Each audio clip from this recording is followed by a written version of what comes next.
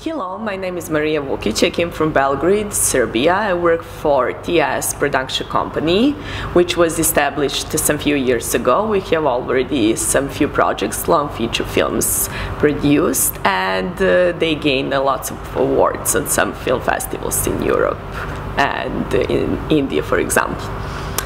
Um, I apply uh, uh, to EWA with um, uh, intention to learn more about production and the modern modern uh, methods and uh, tools how we can produce and uh, um, distribute and uh, sell our films. And in a some modern way in the and uh, I have to say that I'm very satisfied with the course, even its uh, first edition, and I uh, didn't know before I came what I was expecting, and. Um, I was uh, really nicely surprised after these three meetings of ours in Glasgow, Amsterdam, and now in Barcelona.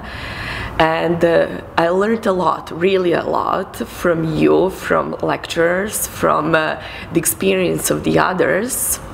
So I like, uh, uh, uh, we're all very various with the various projects very different people very different characters different projects. And i think that EWA um, picked us like this and it's a very good thing that uh, we are not all, only in the feature films but in documentaries animations and uh, some other kinds of projects. So uh, that uh, difference is uh, very important, and I think it's very motivating. Motivating, and um, I found lots of uh, friends here. I think that we'll be in contact.